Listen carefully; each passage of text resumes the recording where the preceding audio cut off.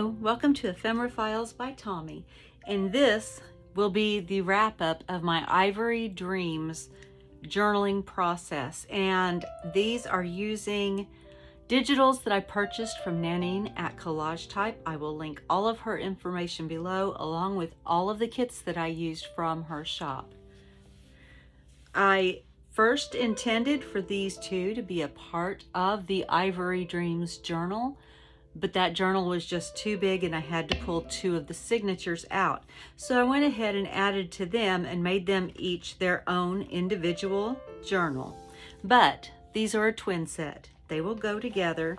They're not identical twins, but they are very similar. And let's see, let's just go ahead and I'll start with this one. Now, usually when I take things out of pockets, I leave them out of pockets to show you the size of the journal without all the ephemera. These don't get much skinnier. so here we go. Um, it is a single signature, like I said. It is, let's see, nine, I think it's nine. No, the journal was nine.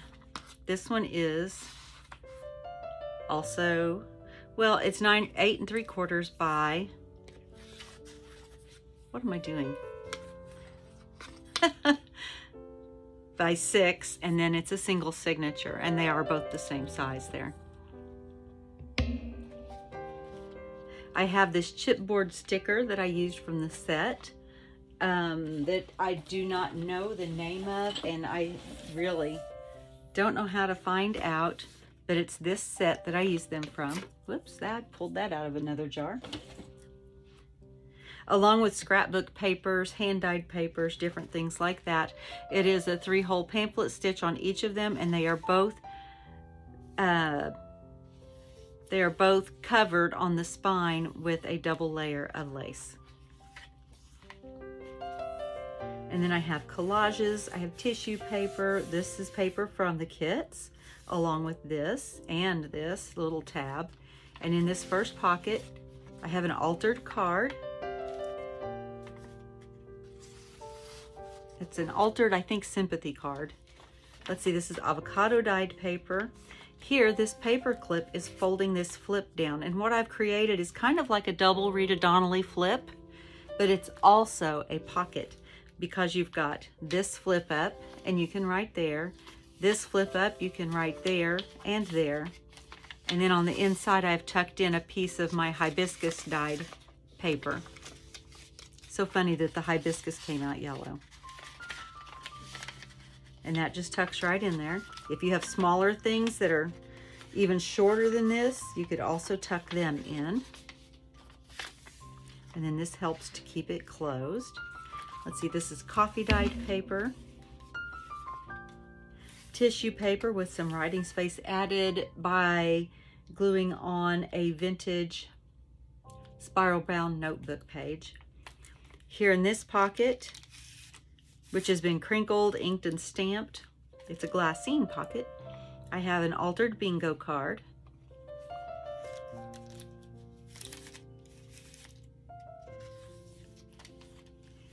Another little pocket here, a piece of a vintage doily that I have used throughout the other journal and then also a, couple of pieces in here. Let's see, this is a tall pocket and inside I have, I think that this is coffee dyed paper in here.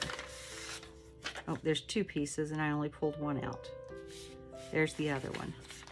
I'll just pull it out too. These are from those mini composition notebooks that you can get. And I just dyed them along with, with the other papers that I dyed with that coffee. And those slide in there and they are just about the perfect size. Here's the center of the signature and I have glass seed beads on the uh, signature ties and they hang just below the signature. I have a double pocket here with an altered vintage index card. That's not ink. I, or it's not all ink. I don't think I inked that. I may have, I may have inked just a little bit down here, but it is aged. And then a couple of little tags that are tucked in the top pocket.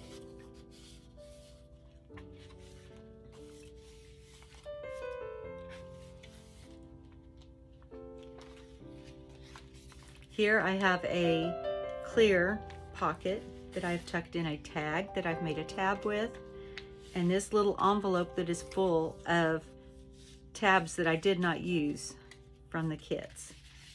And that just tucks right down in there. And stenciling on both pages. And then in this pocket, I have another piece of the hibiscus dyed paper.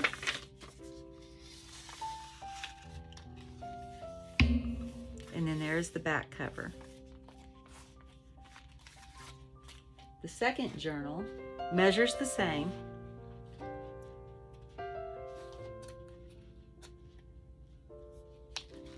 And here I have a pocket that I have used this piece of the kit and then part of the lace and that pocket goes all the way down. And then I have this journaling card that you can just flip up for even more space.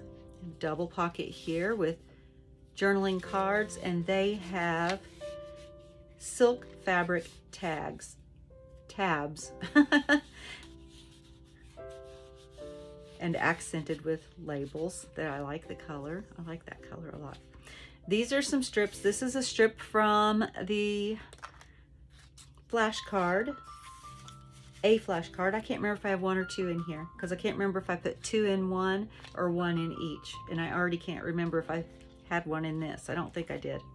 And then these are just two long strips. They were like washi strips that were in the in the kit that I didn't use. I used some, but not all. So I just thought I'd add those in there as well.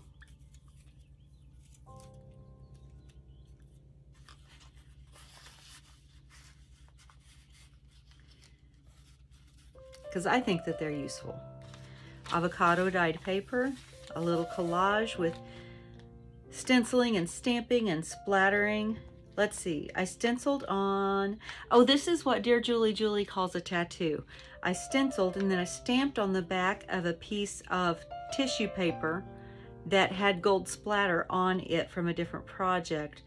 Glued that face down so the ink is behind the tissue and then had this little piece that I had stamped on and punched out. Here's pocket, another piece of the hibiscus dyed paper. tab is also from the kit.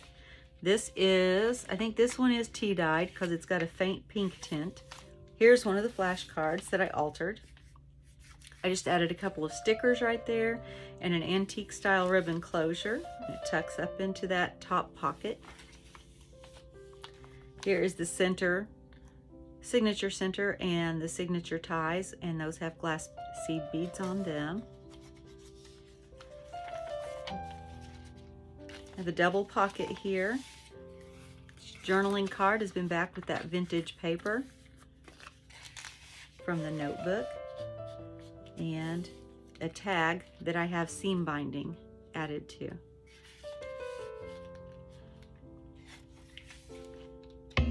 This tab is also from the kit and another piece of the hibiscus paper.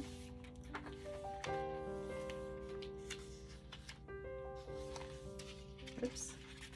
Here's a glassine bag that I've added washi tape to the page and a sticker and then this was a piece of packaging and this was a piece of packaging. And so I thought that that was fun. So I added it to the top of that piece and then added a couple of labels and this is a scrap piece from the kit and a sticker and then on the back I have coffee dyed paper and this is from the kit and then another label.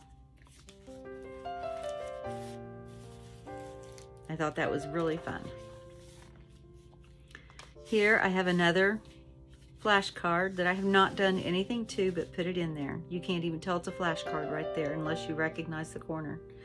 And then here I have one, two, three, four, no, one, two, three pockets. four, that's the fourth pocket. I knew that this was a four pocket page. And here I have a journaling card. And another journaling card. And this is an old computer card that I've stamped on.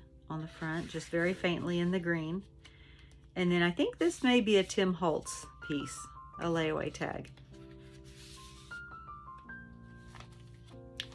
Just added a sticker over the stenciling there. And then this last page has a long, tall pocket with a long, tall journaling card.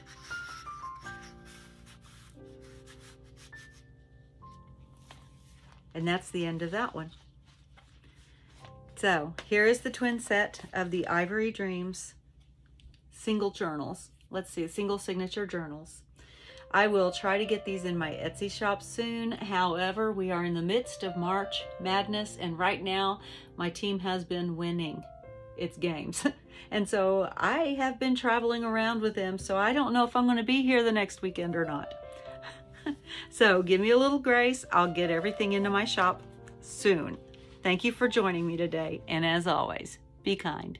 Bye.